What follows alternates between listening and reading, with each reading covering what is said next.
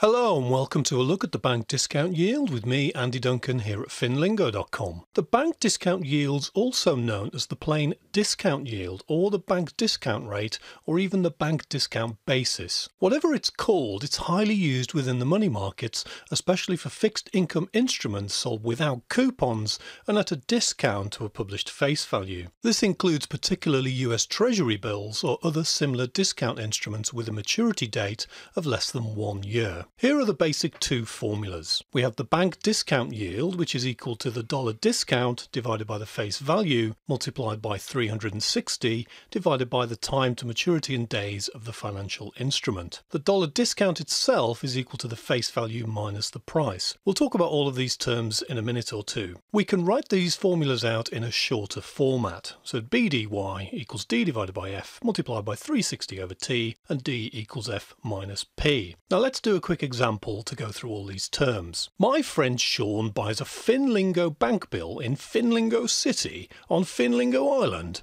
with a face value of 100 Finlingo gold dollars. He pays $91.11 for this fantastic discounted financial instrument. There are 232 days to go before the bill matures, and he can then collect 100 gold ounce dollars from Finlingo Bank. So what's the bank discount yield on this particular financial instrument? The dollar discount, if you remember, is the difference between the face value and the price Sean paid. So that's $100 minus $91.11, which is equal to $8.89. We can now write out the bank discount yield equation in full, which is 8.89 divided by 100 multiplied by 360 divided by 232, which is equal to 0.137948, and this is approximately equal to 13.7 0.79%. So why the 360 rather than the actual number of days in a year, whether that's 365 or 366 in a leap year? Well,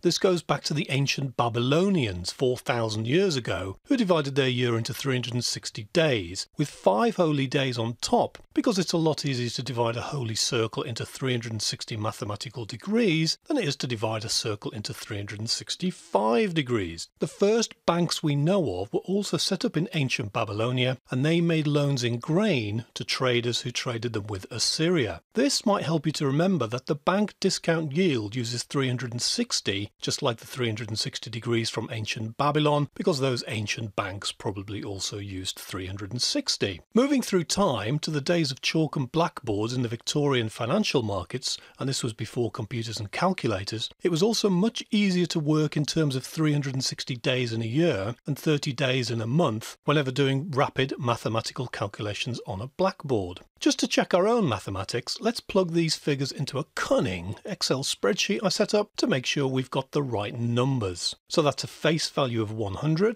a dollar price of 91.11, and a time to maturity of 232 days before Sean can go and get the $100. This gives us what we wanted, which is 13.79%. Now let's try an example on finlingo.com to really burn this equation into our brains. Pick out the right numbers and avoid getting the wrong ones put there deliberately. Slot them into the equation and figure out a bank discount yield. Now check we got the result on Finlingo. Choose it, then move on. Head over now to finlingo.com to try out an infinite number of bank discount yield questions and other different yield questions until you've got all four main types fully sorted out in your head. Also take a look at our three other videos on the holding period yield, the effective annual yield and the money market yield which are also related to the bank discount yield. Finlingo. Speak finance fluently.